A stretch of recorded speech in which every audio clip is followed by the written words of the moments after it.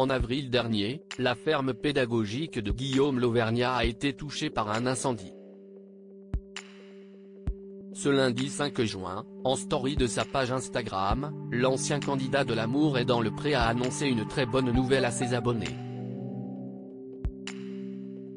Lors de la diffusion de la saison 17 de L'amour est dans le pré en 2022 sur M6, les téléspectateurs ont fait la connaissance de Guillaume Lauvergnat, à la recherche de l'homme de sa vie. Grâce à l'émission, il l'a trouvé en la personne de Tom, avec qui il est toujours en couple plus d'un an après leur rencontre. Ensemble, ils s'occupent de la ferme pédagogique que l'agriculteur avait présentée à Karine Le Marchand lors du tournage de son portrait. En avril dernier, cet établissement a été le théâtre d'un violent incendie qui a ravagé deux bâtiments de stockage. Ces animaux, eux, n'ont heureusement pas été touchés par les flammes.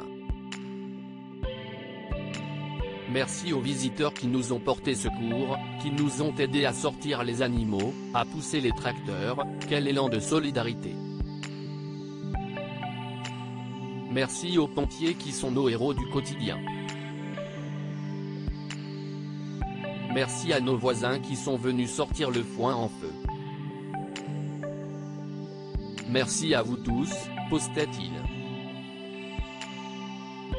Guillaume, l'amour est dans le pré, trop content, il partage une bonne nouvelle sur Instagram ce lundi 5 juin, dans sa story Instagram, Guillaume a annoncé une très bonne nouvelle à ses abonnés. Presque deux mois après l'incendie de sa ferme pédagogique, le compagnon de Tom s'est réjoui d'avoir reçu le matériel nécessaire pour repartir du bon pied. Youpi Arrivée de notre nouveau matériel pour remplacer celui qui a brûlé dans l'incendie de la ferme. L'influence paye pas assez pour acheter du gros matériel, a-t-il écrit. Il a ensuite remercié les deux établissements qui l'ont fourni en matériel avant de poursuivre, trop content, on va pouvoir attaquer les foins. L'amour est dans le pré, Guillaume fait le bilan de son premier anniversaire de rencontre avec Tom dans ce réaménagement de sa ferme pédagogique, Guillaume Lauvergnat peut compter sur la présence de Tom, son compagnon.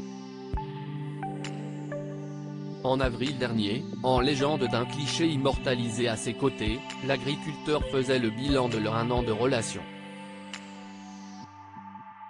Voilà, 365 jours se sont écoulés entre cette première rencontre, ce speed dating sur la péniche parisienne. Aujourd'hui, nous avons vécu 12 mois intensément, passionnément et amoureusement. Une année pour se découvrir, construire, bâtir. Maintenant, nous allons vivre encore plein de belles années, alors mon chéri. Joyeux premier anniversaire de rencontre postait-il